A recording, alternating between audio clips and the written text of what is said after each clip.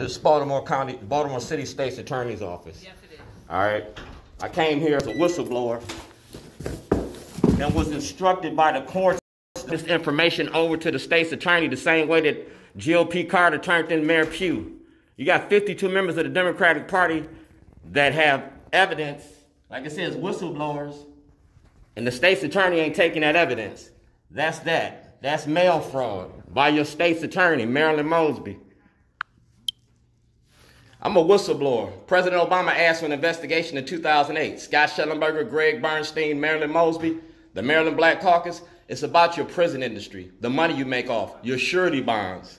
They can call the police because, like they said, they ain't they ain't pushing trespassing charges.